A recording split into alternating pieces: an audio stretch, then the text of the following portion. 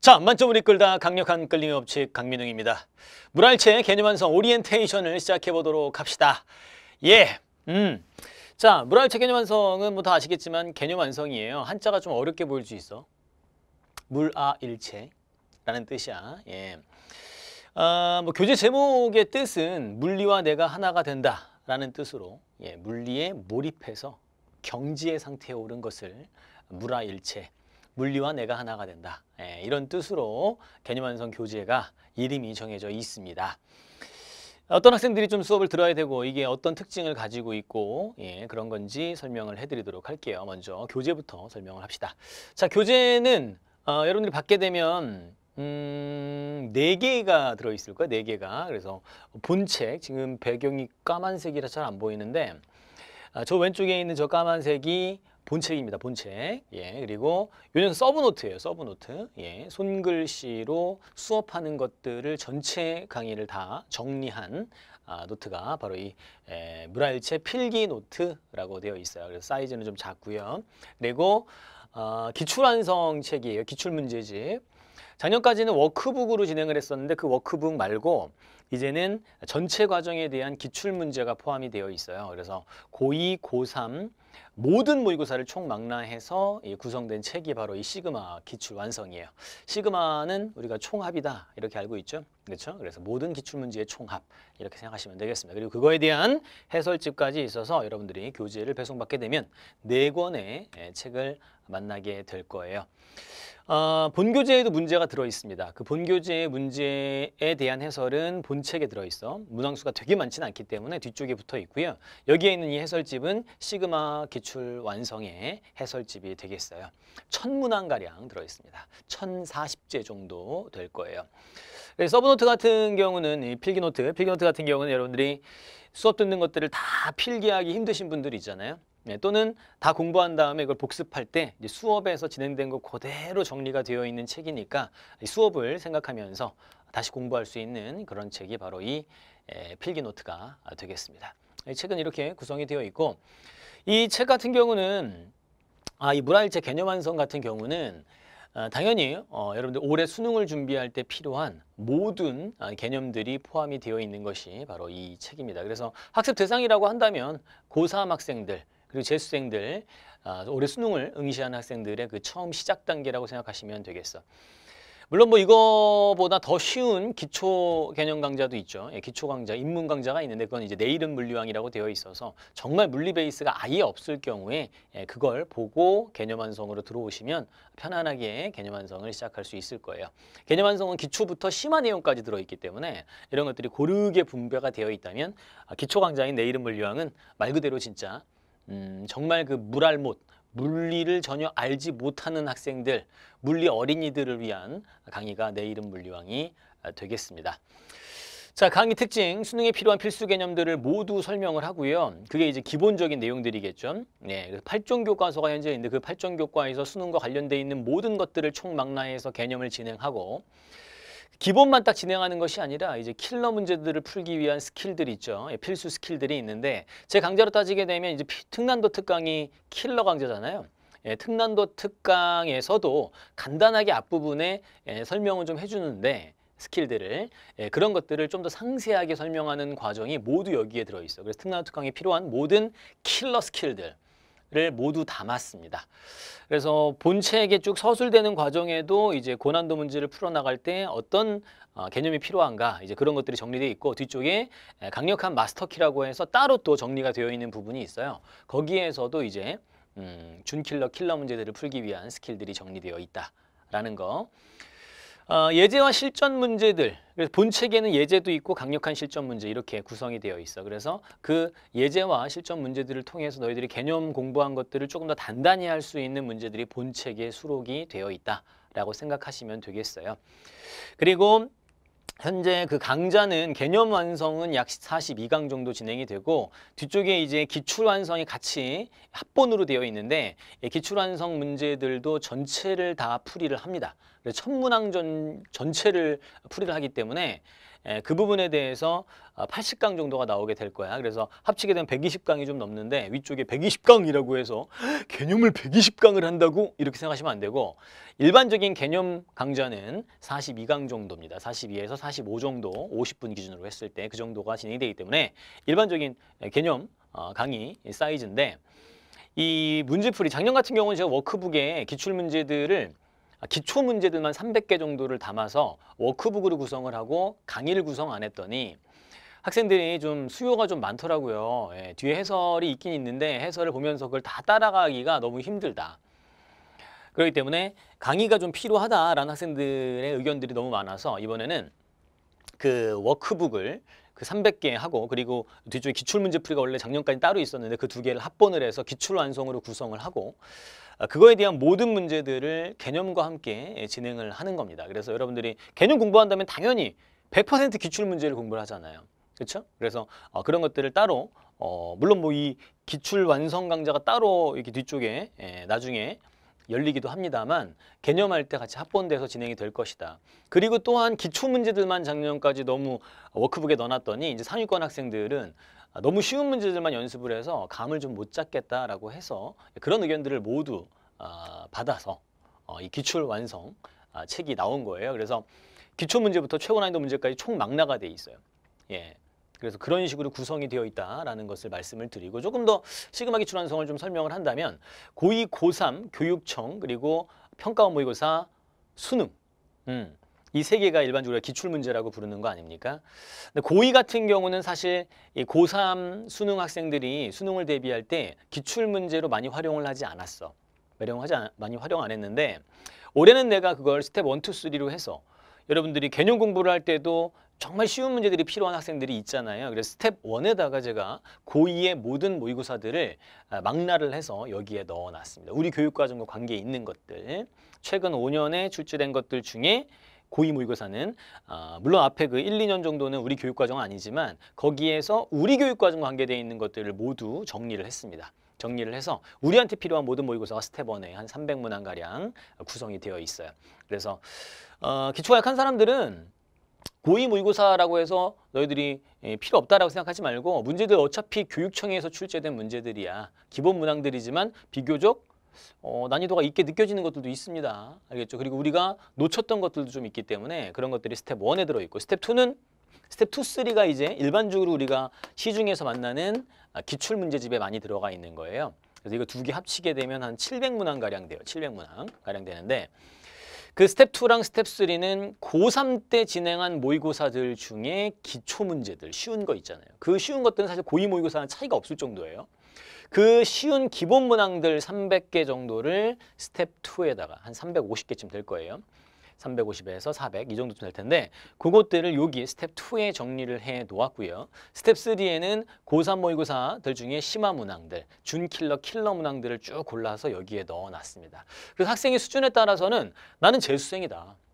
작년에 내가 물리 수능이 지금 내가 1등급인데 기출 문제를 풀어야 되는 건 알겠는데 뭐 이런 것까지 풀어야 되냐라고 생각할 수 있는데 그럴 경우에는 어, 이 스텝 2, 3만 푸셔도 됩니다. 또는 나는 뭐 극상위권이다라고 하면 뭐 스텝 3만 푸셔도 돼요. 그래서 여러분들의 학습 단계에 따라 어, 선택해서 풀어서 공부할 수 있게 예, 시그마 기출 완성을 준비를 한 겁니다. 잘 활용을 하셔서 이 너희들한테 가장 효과적인 학습법을 가지고 공부를 하시면 좋을 것 같아. 다만 올해 수능을 준비하고 너희들이 이 뭐 중반부터 시작하는 게 아니라 뭐 6월달 뭐 반수생 이런 게 아니라고 한다면 처음에 개념 공부하면서 전체 문제를 쭉 한번 풀어보세요. 예, 천문항 푸는 게 그렇게 어렵진 않잖아요. 예, 기출 문제들을 베이스로 해서 사실 거의 75%의 문제를 맞출 수 있는 거 아닙니까? 20문제 중에 기출 문제를 진짜 열심히 꼼꼼하게 공부를 해도 거의 17개까지는 그냥 그냥 맞춥니다. 그렇기 때문에 그런 중요도를 생각한다면 여러분들이 패스하지 말고 스텝 1, 2, 3를 처음부터 편안하게 시작을 해서 점점 점점 심화되는 난이도로 구성이 된 책이니까 그렇게 활용을 하시면 좋을 것 같고 또 하나는 문항이 워낙 많다 보니까 너희들이 이 강의를 막 찾아보기가 너무 힘들잖아요. 힘들기 때문에 스마트 코드가 각 소단원별로 다 코드가 잡혀 있을 거야. 그래서 내가 어떤 문제를 딱 모르겠어. 모르겠는데 이제 강의를 찾아봐야 되는데 그럼 또 막 들어가 가지고 이게 몇 번에 있는지 찾아 가지고 뭐 클릭해 가지고 막 이렇게 해야 되잖아요. 네, 메가스터디에서는 몇 년 전부터 스마트 코드를 활용을 하고 있습니다. 그래서 강좌에 들어갔을 때 인덱스 있는 거 말하는 게 아니고 인덱스는 당연히 있어요. 예, 들어가서 탁탁 클릭하면 그 번호로 가는 건 당연히 있는데 그거 말고 어, 너희들 my page에도 있고 홈페이지 우측 상단에도 스마트 코드라고 되어 있는 게 있어. 스마트 코드라고 되어 있는 게 있는데 거기 클릭하시면 코드를 넣을 수 있게 돼 있는데 제가 여기에 거의 한 20개의 소단원을 20개, 20개, 20개니까 거의 60개 소단원처럼 느껴지겠죠. 물론 세 개가 다 똑같은 소단원이긴 합니다만 그 20개 소단원의 앞부분 제목 아래쪽에 코드를 넣어놨어. 그래서 모르는 거에 그 코드를 딱 집어넣으면 클릭을 딱 하면 그 소단원에 대한 것들이 쫙 뜹니다. 떠가지고 그냥 클릭만 하면 바로 그 해설 강의를 볼 수 있게 구성이 된 게 스마트 코드예요. 그래서 기출 문제가 워낙 많다 보니까 여러분들에게 조금 더 편안하게 문제를 접근할 수 있게 해설 강의를 빨리 찾을 수 있게 스마트 코드도 아, 책에 모두 구성이 돼 있으니 잘 활용을 하셔서 공부를 하시면 좋을 것 같아. 무슨 말인지 이해는 되지? 혹시 잘 모르겠으면 질문 게시판에 글 올려주세요. 그러면 자세하게 스마트 코드에 대해서 설명을 하도록 할게요. 근데 지금 내가 상세하게 설명했다. 알겠어요? 이렇게 해서 아, 기출 문제들을 잘 아, 활용해 주시면 좋겠습니다. 자, 그렇다면 우리가 공부를 하게 되는 이 물화일체 개념 완성이 전체 커리 중에 어느 부분을 차지하고 있는가 그 부분을 간단하게 1년 아, 커리를 중심으로 설명할게요. 자, 물리학 원의 1년 연간 커리큘럼이에요. 이 커리 동영상 따로 올라가 있는데 예, 저는 이제 기출에 좀 초점을 맞춰서 설명을 좀 해드리도록 할게요.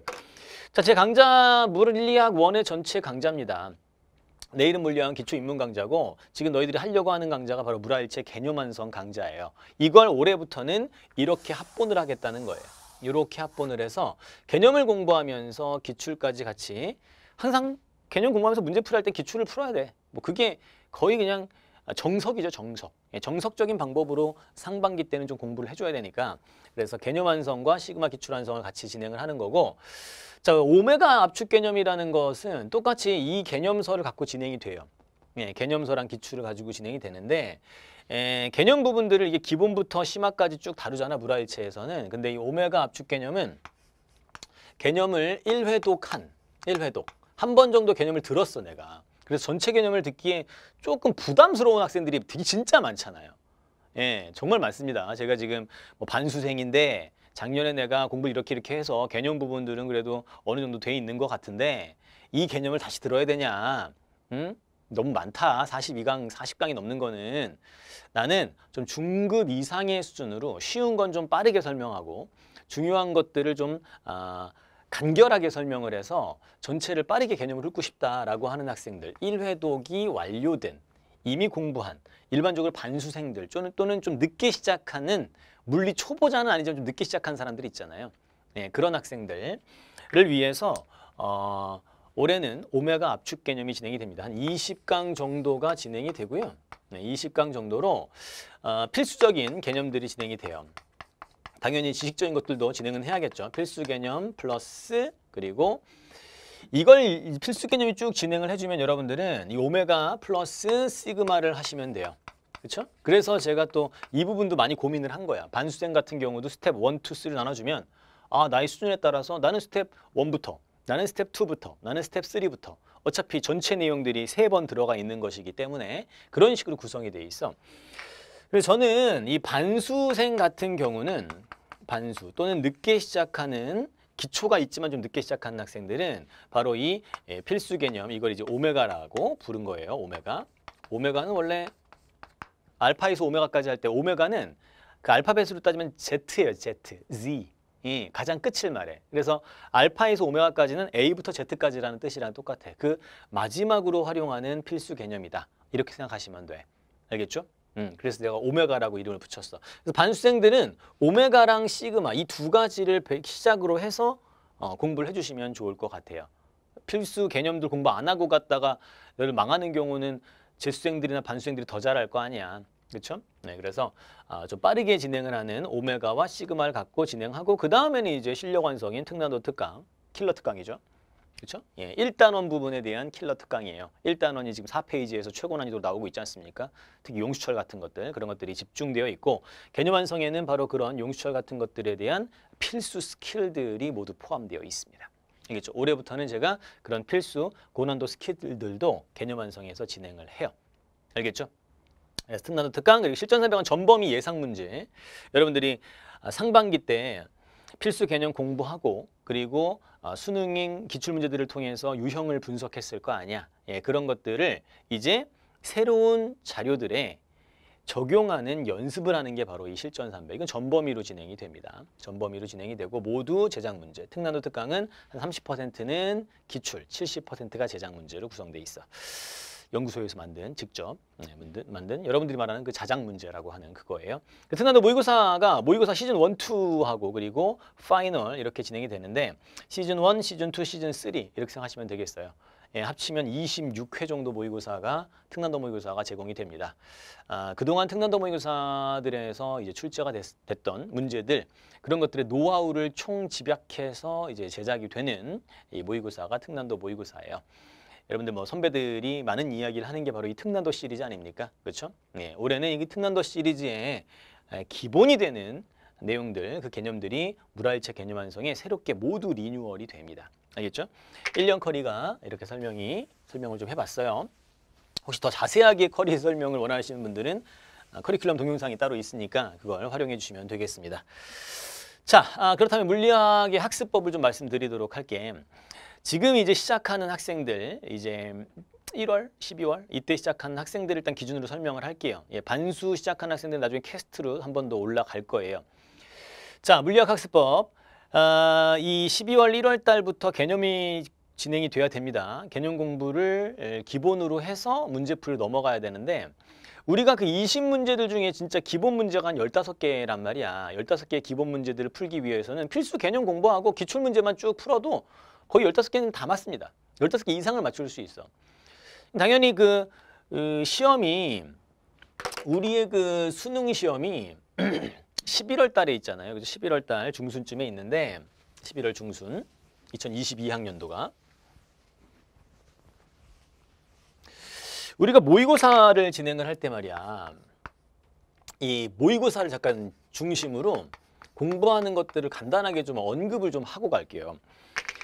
여러분들이 3월 달에 전국연합학력평가, 일반적 학평이라고 부르는 교육청 모의고사가 있어요. 서울시에서 처음 보죠. 그 다음에 4월 달에 경기도 교육청이 있고요. 그리고 6월 달, 6월 달이 중요하죠. 6월 달이 평가원 모의고사, 수능을 내는 기관이 한국교육과정평가원인데 그때 6월 달에 첫 번째 모의고사가 진행이 됩니다. 7월 달에 이제 인천시 교육청이 한 번 있고 8월 달에는 없어요. 방학이라고 보시면 돼요. 그리고 9월 달에 다시 구평이라고 해서 9월 평가원 모의고사 10월 달에 다시 서울시 교육청 모의고사가 이렇게 있어요. 그래서 전국 단위로 어, 진행이 되는 모의고사는 이렇게 여섯 번이에요. 3, 4, 5월 없고 6, 7, 8월 없고 90. 그리고 이제 11월이 이제 수능이 되겠죠. 딱 중간이 되는 부분이 바로 이 6평 모의고사야. 이 6평 모의고사를 기준으로 전후를 나눠서 공부를 하는 게 일반적으로 좋습니다. 특히 고3 같은 경우는 또 4월 달 정도에 내신 기간 때문에 수능 학습이 좀 안 되잖아요. 그렇죠? 그리고 7월 초에도 어, 내신 또 6월 말 7월 초에 또 내신 때문에 수능 학습이 안 되니까 그 부분은 조금 너희들이 에, 빼놓고 나머지 부분을 가지고 수능을 준비할 수 있어야 되거든요. 예, 그런 것들을 이 시험을 기준으로 하는 거예요. 구평은 어떤 기준이 된다기보다는 거의 수능이 임박했을 때지 않습니까? 예, 그렇기 때문에 예, 6평을 기준으로 해서 여기에 써 있듯이 일단 이 3월, 4월 모의고사는 그냥 우리의 실력 테스트라고 생각하시면 돼. 그래서 기출 문제만 가지고도 다 맞을 수 있어. 그러니까 3월, 4월 달에 기출 문제를 다 맞출 수 있으니까 당연히 이때는 개념 학습을 진행을 하면 되겠죠. 개념 학습을 진행하고 기출 학습을 하면 돼요. 기출 문제들 중에 이제 상급 난이도들도 전부 다 풀어 주셔야 됩니다. 예, 그런 건 킬러 막 이런 거 아닙니까? 이미 오픈된 평가원 킬러는 킬러가 아니에요. 여러분들 기본이라고 생각하고 공부하셔야 돼요. 그렇기 때문에 바로 이 두개 개념과 기출 학습을 이 6평전까지 완료를 해놓을 수 있게 여러분들이 각자의 커리를 짜서 자기만의 스케줄을 짜서 공부를 해주시면 돼요. 3, 4월은 아까도 얘기했지만 아, 개념과 기출만으로도 다 맞을 수 있어. 근데 6평으로 딱 가게 되면 재수생들이 들어오잖아요. 문제 수준이 약간 높아진단 말이야. 높아지기 때문에 개념과 기출로 킬러까지 모두 30분 안에 에, 깔끔하게 해결하기가 좀 어려워요. 예, 그렇기 때문에 이 6평 전까지 이게 완성이 됐다고 한다면 이런 것들을 기반으로 해서 너희들이 무엇을 해야 돼요? 이제 개념을 잊어버리면 안 되잖아. 그쵸? 잊어버리면 안 되기 때문에 이제 모의고사라던가 또는 문제풀이를 통해서 계속 반복해 줘야 돼. 무슨 말인지 알지? 근데 이 6평 이후에 이제 하반기라고 한다면 개념을 복습해야 돼요.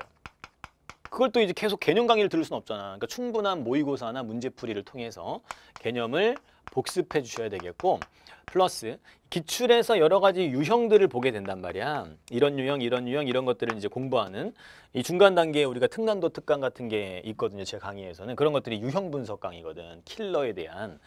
그래서 그 유형들을 정리한 것들을 유형 정리한 것들을 여기서 반복해 줘야 돼.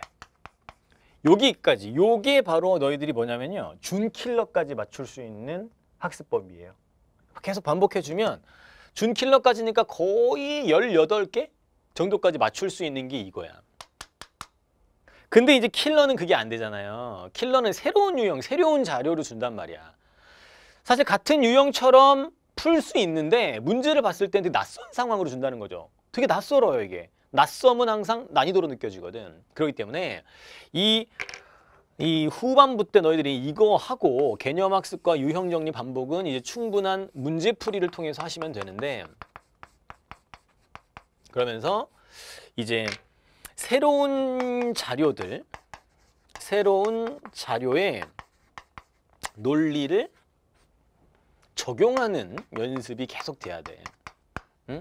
응? 이게 진짜 꾸준히 문제풀이를 많이 해줘야 됩니다.